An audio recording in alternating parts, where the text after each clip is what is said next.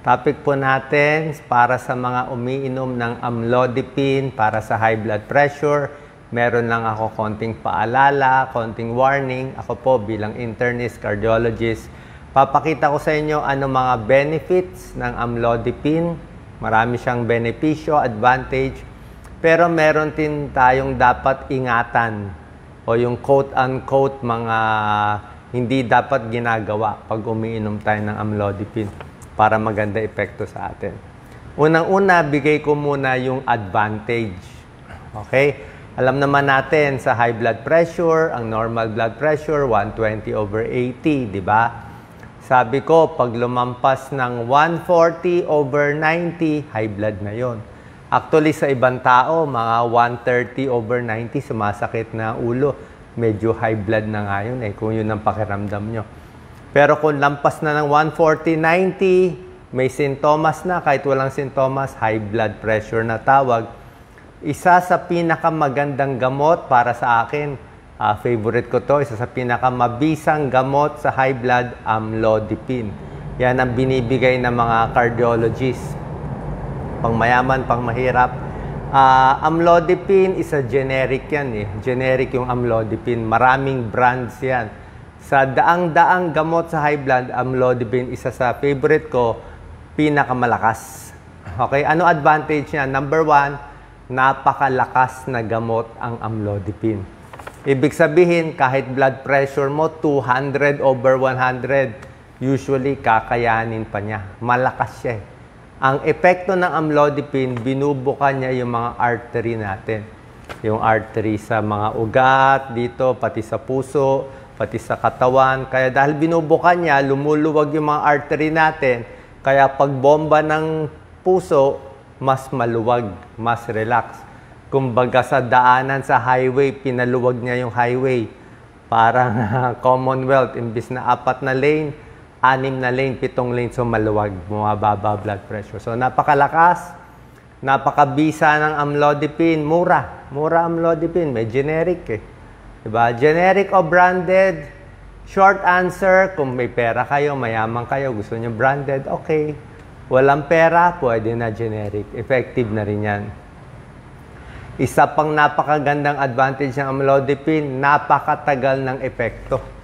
Ang epekto ng amlodipine is 24 hours. Okay?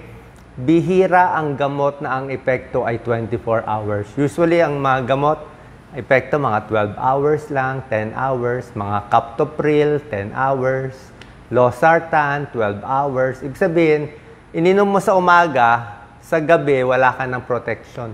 Itong amlodipine, 24 hours, lampas pa. Okay? Tapos pag inom mo, mafe-feel mo yung pinaka-epekto niya mga 6 to 12 hours after the dose. Now, dami niyang advantage, di ba? Isa pang advantage, walang problema sa kidneys. Hindi, hindi, hindi apektado ang kidneys. Okay, kahit may konting kidney damage, maganda amlodipine. Another positive dito, walang problema sa sex, sa kalalakihan. Mga lalaki takot uminom ng gamot sa high blood, di ba? Takot ang mga lalaki sa metoprolol. Kasi sabi, metoprolol daw nakakahina sa pagtatalik ng lalaki. Actually, hindi naman dapat. Pero counted yun sa side effect ng metoprolol eh. Pwede humina ang pagka ang ano uh, ang erection so baka maging impotent. Pero normally hindi naman dapat. Pero itong amlodipine walang problema sa sex sa lalaki. Okay? Wala rin problema amlodipine sa sedation. Hindi ka sedated, hindi ka bangag. May ibang mga mga gamot nakaka-sedate eh. Sedate is actually sedate is parang nakaano ka eh, nakagamot ka. May ibang ibang gamot 'yun ang epekto. Okay? Tapos isa pa maganda sa amlodipine luma na tong gamot. Ibig sabihin luma 30 years, 40 years. Uh, ibig sabihin alam na natin, kilala na natin side effect niya. Mamaya ikukwento ko sa inyo lahat ng side effect ng amlodipine kasi hindi naman siya talaga para sa lahat ng tao. Siguro sa 98% ng tao okay amlodipine. Pero sa 2%, 3% baka hindi babagay. Kukwento ko mamaya. At lastly, pinakamagandang epekto ng amlodipine, mas malakas siya kaysa sa mga sartan. mas malakas siya, mas malakas ang amlodipine sa losartan, valsartan, irbesartan. Pag pinaglaban, yung naka-amlodipine controlled ang blood pressure. So, mas hindi ma-stroke, mas hindi ma-heart attack. Paano malakas eh? Mabisa. Okay? Ito naman yung babantayan natin. Ito yung mga quote-unquote hindi dapat o medyo bawal gawin. Okay? Number one, pag nakainom ka ng gamot sa high blood, Actually, kahit anong high blood eh, na gamot, bawal itigil agad. Okay? Hindi pwede itigil agad. Bakit? Ah, pag tinigil mo kasi agad, baka biglang tumaas yung blood pressure mo. Hindi ka protected. For some reason, naisipan mo lang na umiinom ka, maintenance. Tinigil mo, baka in one week, two weeks, ma-high blood ka na, ma-stroke tayo. Okay? Kung ititigil, dapat dahan-dahan tinitigil. May ibang gamot sa high blood, kailangan unti-unti tinatanggal. Yung mga metoprolol, beta blocker, unti-unti. Kasi yung mga metoprolol, dagdag ko na rin tips. Pag tinigil mo bigla, imbis na bumagal heart rate mo, biglang bibilis. May rebound. May rebound yon Parang sa boyfriend, may rebound, di ba? Pag iniwan ng boyfriend, mas nagwawala, di ba? Gusto mo mag-rebound eh. Ganon din sa gamot. Pag binigla mo, unti-unti. Parang mga steroids, bawal bigla tanggal. So sa high blood, bawal din bigla tanggal. Unless, unless low blood ka. Unless na sobrahan na low blood, eh pwede mo tigil. Okay, papaalam sa doktor. Number two, bawal gawin. Actually, hindi naman bawal to. Pinag-iingatan kung meron kayong liver problem. Okay? Kung meron kang liver cirrhosis, sira yung atay o fatty liver, Fatty liver pwede naman, uh, paalam lang sa doktor. 'Di ba? I-check lang liver cirrhosis, fatty liver, uh, kasi ang amlodipine na may metabolize ng liver. Eh. So minsan binabawasan natin ang dosis kung may sira yung liver. Okay? So kung may liver problem ka, pwede naman amlodipine pero dumadaan din kasi sa liver to so baka mag-traffic sa liver eh mas konti ang dose. Okay? So, kidney problem, no prob okay. Pero liver problem, konting uh, bawas ng dose pa alam. Number three, lagi to tinuturo tungkol sa grapefruit or suha. Grapefruit kasi sa Amerika to, sa atin suha. Suha kapatid to ng grapefruit eh. May ilang pag-aaral ang suha na kapatid ng grapefruit pwede mag-interact sa maraming gamot pwede itaas ang dose ng ibang gamot. Okay? Kaya sinasabi, pagkakain ng suha, umiinom ng gamot, wag masyado marami. Siguro, tatlong piraso, wag naman isang buong suha. Pero may epekto ba yung suha? Actually, sa lahat ng gamot eh. Lahat ng gamot sa high blood, sa depression, may epekto ang suha. Sa amlodipine, dapat naman wala eh. Pero ingat na rin. Huwag din sobra sa suha. Number four, dapat ingatan pag uminom ng amlodipine, alak. Okay, alak talaga yung mga manginginom. Actually, hindi lang amlodipine. Halos lahat ng gamot sa high blood, hindi pwede uminom ng alak. Lalo na yung mga naka-antidepressant. Yung mga naka-antidepressant, bawal na bawal ang alak. Kasi yung dose mo ng, ng antidepressant, biglang tataas, baka ma-overdose ka. Okay? Baka uminom ka ng alak, tapos uminom ka ng amlodipine, baka biglang lumakas yung amlodipine, matumba ka, mahilo ka, bumagsak bigla blood pressure mo. Kasi alak, hindi rin maganda ang epekto. Okay? So, alak, kung iinom ka man, konti-konti lang. Huwag mo sosobrahan, lalo na naka-amlodipine ka na. Number five, dapat ingatan yung pagdagdag ng ibang gamot sa high blood. Minsan kasi, Maraming kababayan natin naka-maintain na sa amlodipine, gusto pa magsubok-subok kasi sinabi ng uh, kababayan niya, kapitbahay niya, uminom nitong dagdag gamot, dagdag gamot. Eh, kakadagdag-dagdag mo, sinabi ko nga sa inyo, malakas na tong amlodipine. Pag nadagdagan mo, baka ma-low blood ka naman. Diba? Ayaw natin low blood, baka mahilo ka. Number six, dahil nga malakas yung amlodipine, Usually, pag iinom kayo ng amlodipine, first three days, mas nag-iingat ako eh.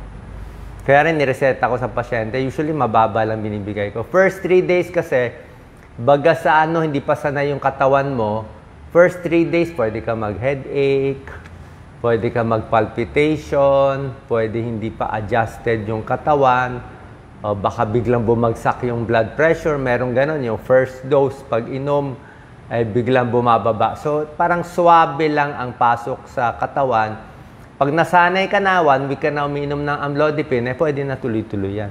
Usually nga, pag high blood, pang matagalan ang inom nito. So, having said that, number six, iwas sa sobrang exercise. Sobrang pagod, sobrang exercise, lalo na kung bago pa yung gamot nyo o nagda-drive ng, ng truck o heavy machinery, di ba, na bagong, may bagong gamot ka, hinay-hinay lang, easy-easy baka biglang mahilo sa pagtayo. Number seven, pag umiinom ng amlodipine or ibang gamot sa high blood, ingat din sa herbal supplement.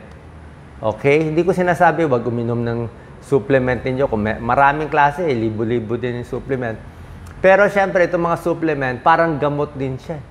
Kahit galing sa halaman, maraming gamot sa medisina, halaman naman ng pinagkumpisahan, parang yung digoxin, lanoxin, ano yan eh, halaman yan, plant yan eh. So, kung umiinom ka ng herbal supplement, baka nakakalabnaw ng dugo, baka nakakababa ng blood pressure, tanong nyo muna sa doktor nyo. Baka mag-interact. Marami kasing interaction ang gamot sa high blood at ibang gamot. Okay? Ingat. Number eight, ito, pinaka-importante. Buntis. Okay? Bawal uminom pag buntis. Okay? May gamot sa high blood na bawal na bawal sa buntis. Ano yung pinakabawal sa buntis? Pinakabawal yung losartan. Lahat ng sartan, valsartan, uh, irbesartan, bawal na bawal sa buntis. Kaya pag ito maintenance mo, may bala ka magbuntis, eh dapat palitan mo yung gamot mo sa high blood.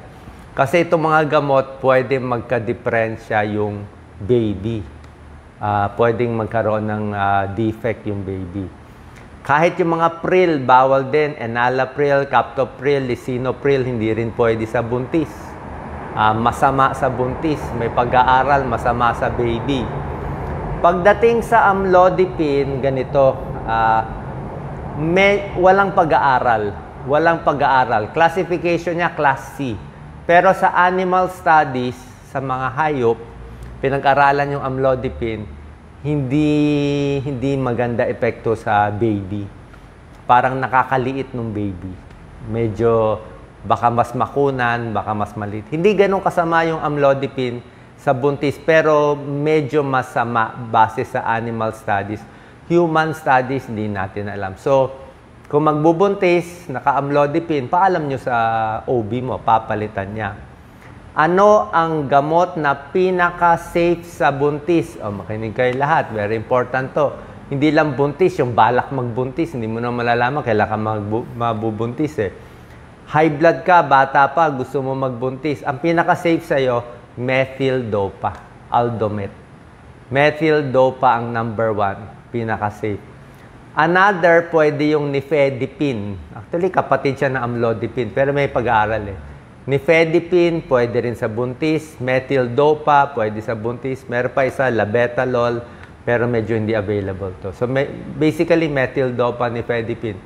Kung buntis, tsaka kung nagpapa, ano, breastfeeding, hindi rin pwede. Breastfeeding, hindi rin pwedeng losartan, kahit yung amlodipine.